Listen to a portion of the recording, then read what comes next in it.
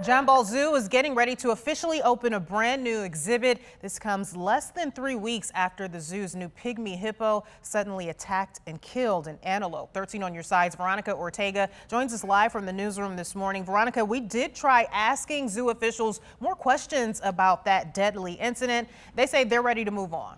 Emily, that's right. They declined to comment further on what happened to Chopper. Instead, they want to focus on moving forward and celebrating the already popular new habitat. The pygmy hippo is named Jahari. He's about seven years old and weighs in at a whopping 600 pounds. He's an herbivore that spends a large part of his day hunting down heads of lettuce scattered about his habitat.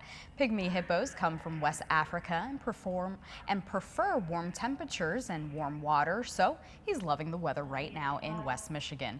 An animal care supervisor says this exhibit is a great example of green practices being put into place at the zoo like water and energy conservation.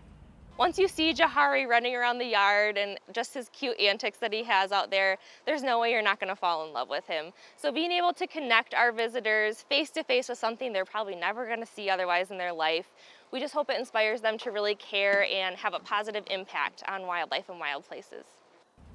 To celebrate, the zoo is hosting its Summer Spectacular event starting today through Sunday. There will be live music, food, and more fun animal activities. Jahari is getting a girlfriend soon. A female pygmy hippo named Penelope is coming to John Ball Zoo later this month. Pygmy hippos are an endangered species, and the zoo hopes the pair will mate in the future.